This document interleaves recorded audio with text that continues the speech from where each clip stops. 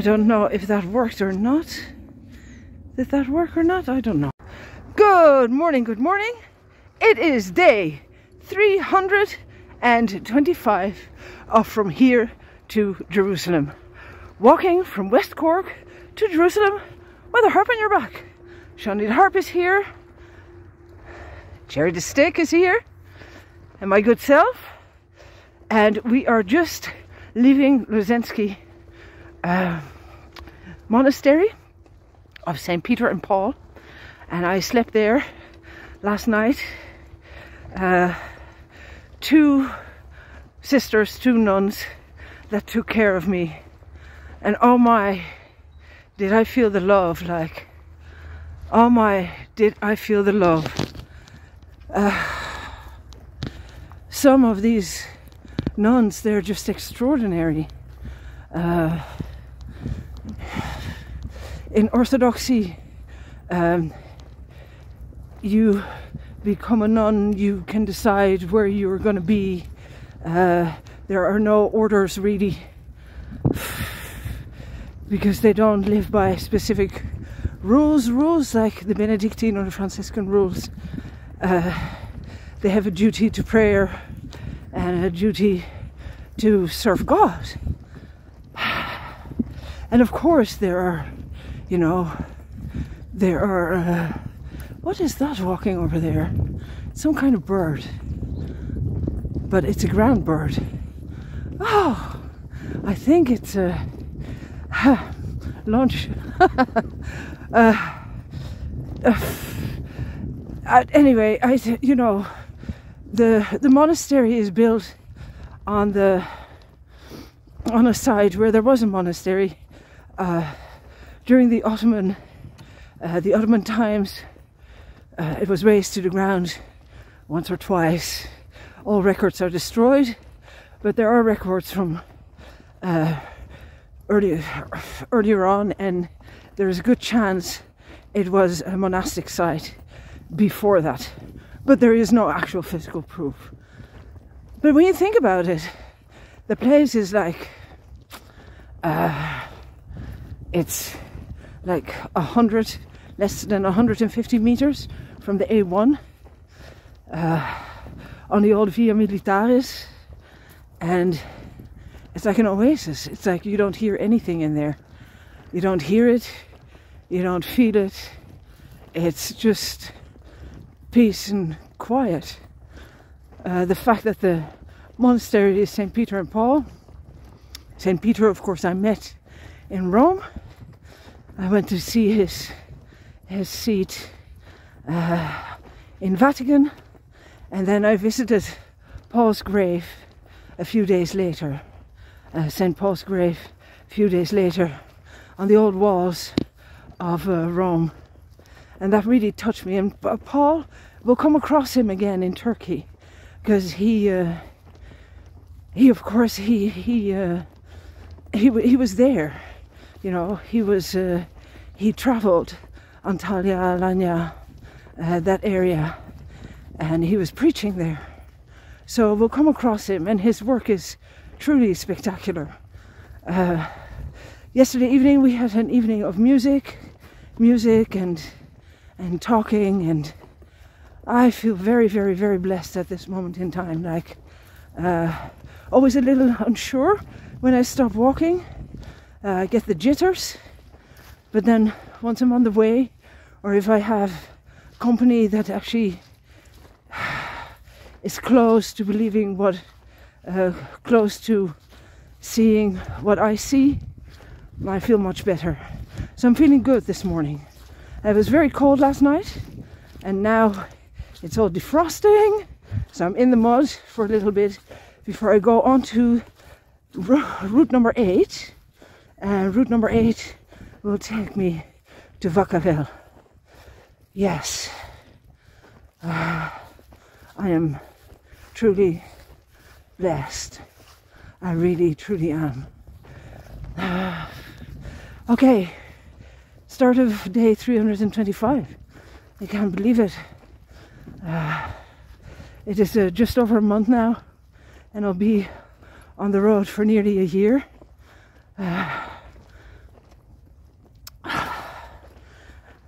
it's very medieval, the whole thing. Like, ah, I'm so glad I've got the harp with me. So glad I get to think every day about what it is that is truly important to me while exploring this extraordinary world, which I see more and more as like a, a I still am in the Roman Empire, like, I think we never left it. For now, I'm ploughing through the mud.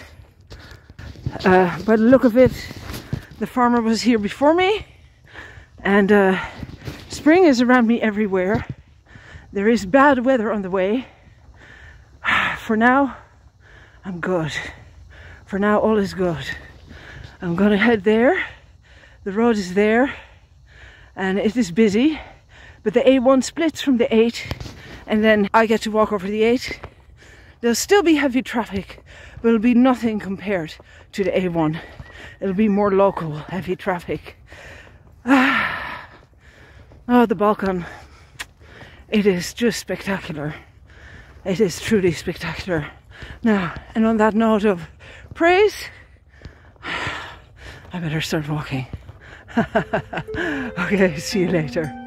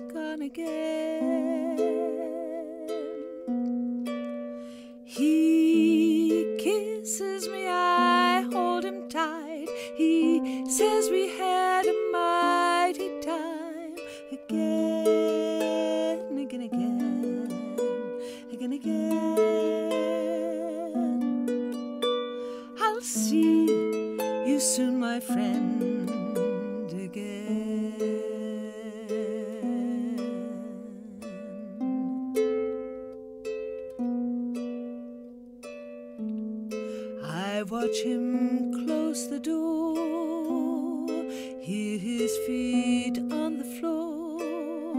All I want to say is stay. He says it does not work that way again, again, again, again, again.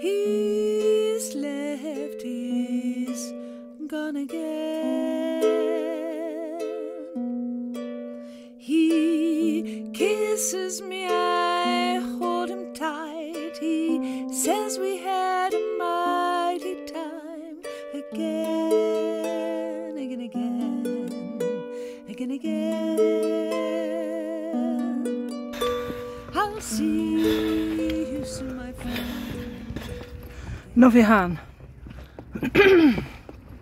Just stopped at the supermarket for a cup of coffee and uh, something else to drink. I put a, a liter and something of fluids into my body.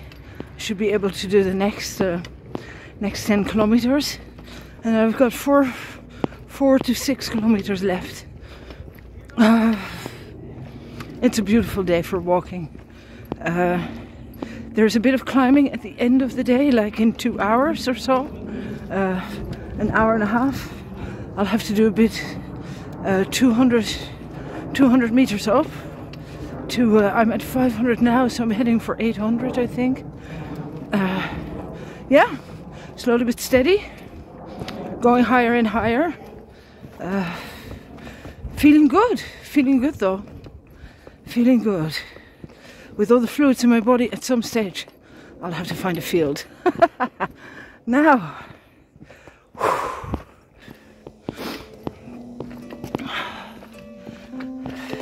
Look at hell, here we come.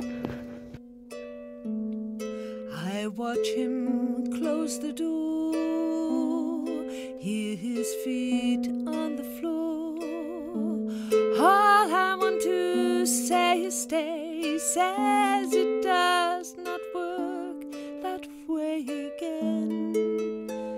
again, again, again, again.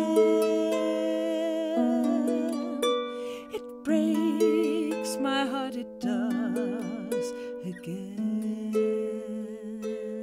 And those are the wrong words. Oh my god. And we start again.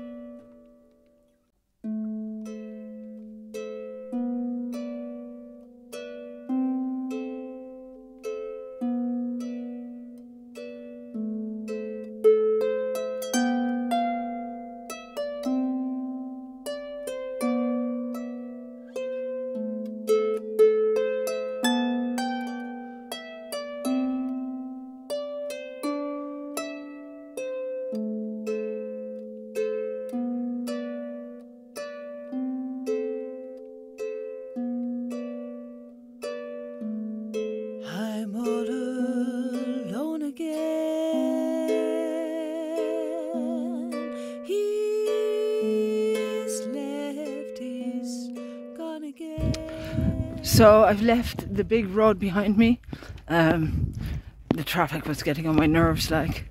So now I'm on a small road, and uh, yeah, I'm gonna zigzag my way around that road for an extra, extra few kilometers to get to Vakarel. I've got time. It's a beautiful day. The pack is feeling okay. Uh, I found a field. Had a chat with a man who spoke German. I think he was on his way to Turkey. He was having his lunch. I'm feeling good. I'm feeling good. And if I need to, I can, um, you know, if I end up um, be having to go a bit faster, I can get onto the road again at several places. So, life is good. I'll see you later.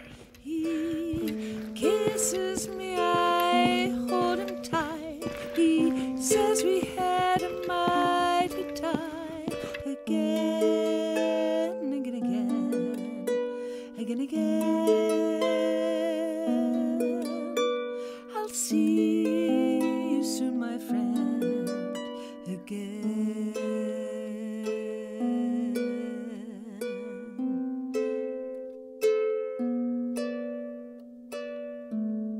I watch him close the door, hear his feet on the floor. All I want to say is stay. He says it cannot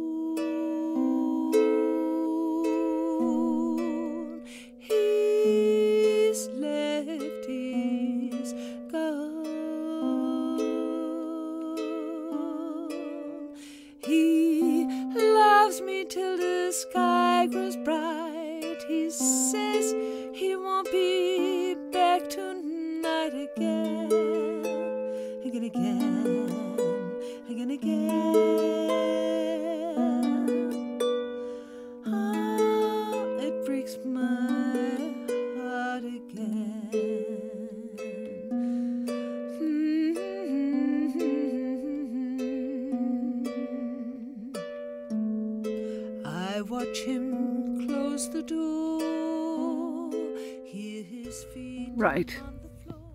So I did a bit uh, on the back roads, which was really nice. and then I ended up on a path that actually uh, on both my maps it was there, but the river has changed its course. The little river that went underneath it, and so it was a really steep climb, no path. So I went back, and there uh, I'd met this. Uh, black golden retriever earlier on, like this stunning, stunning creature, stunning, really, really beautiful, beautiful boy. Uh, and he had followed me down to the river and he walked all the way with me to Vakarel. So I, and I'm at the petrol station now. I have a little bit of time. Ina, who is going to come and pick me up, who is my host for the evening, uh, she's a friend of uh, the uh, of Silka, who I stayed with in Slivnitsa. She's still in a meeting, so I'm here, and now this other dog started barking, and this dog walked like 10 kilometers with me, and I was again I was starting to really fret about this animal wanting to stay with me. Um, and then and and the stress of walking with a dog like like free on a on a on a on a big road because the eight is like one way out, one way back. Anyway, so that's the story, Rory. Um, I got myself a drink. I'm waiting, and uh, it could take a little while. My feet can do with the rest. It's a beautiful day. I'm looking forward to meeting Ina, and now this beautiful black dog is gone. Like, it's gone. I was like love at first sight. Like he looked at me and I looked at him and I went like, you can't come with me. And he went like, I don't care, I'm coming with you. And uh, I kept telling him like, don't do it because you you'll break my heart. And already like I'm feeling really sad that that he's just just a walk alone like so beautiful so so beautiful Oh man, when I get home, I want a dog. I want to save all all those beautiful creatures. Like, oh, there's lots of stuff I want. Anyway, Vakarel. I'm like a, a kilometer outside of Vakarel. I've done enough for today, like 23 kilometers. That's enough. Um, yeah. Now we wait.